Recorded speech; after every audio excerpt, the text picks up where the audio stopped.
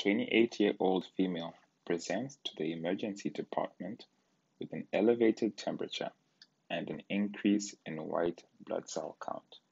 She reports having suffered a stab wound in her back a few weeks ago.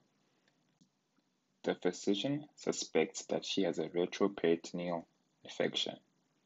Which of the following structures is a retroperitoneal organ and could possibly be infected?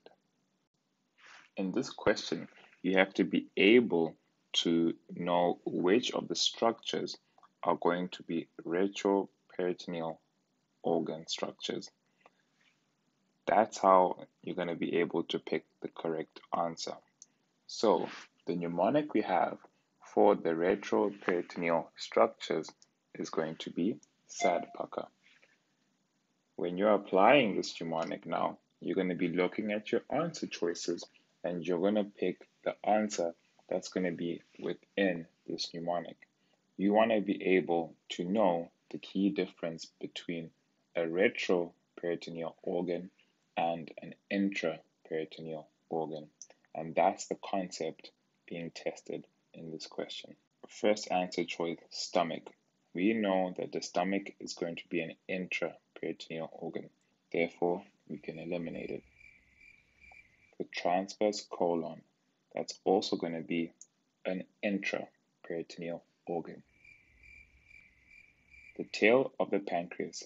So this is where things can be a bit specific here. So let's just leave that one because we know some aspect of the pancreas is going to be retro and some aspect is going to be intra.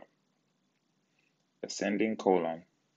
We know that ascending colon is a retroperitoneal organ, so we're going to keep it also. Jejunum, that's going to be an intraperitoneal organ. Therefore, we're left with C and D, our 50-50. Looking at our pancreas, we know the head and the body are going to be retroperitoneal. However, the tail of the pancreas is going to be intra. Therefore, we can eliminate that, and the ascending colon definitely is going to be a retroperitoneal organ. So we need to know all the organ structures that are going to be retroperitoneal, and the mnemonic SAD PUCKER will be the best guide we have for that. You want to be able to differentiate and understand the difference between intraperitoneal and retroperitoneal. So, when we mention intraperitoneal organ, we mean that the entire surface of that organ is going to be covered by peritoneum.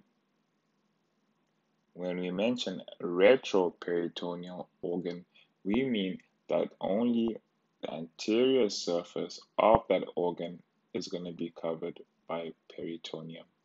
Therefore, when we talk about SAD PUCKER, we are discussing the retroperitoneal organs. Subscribe to the YouTube channel, and if you have any questions, you can contact us in the email provided in the description below.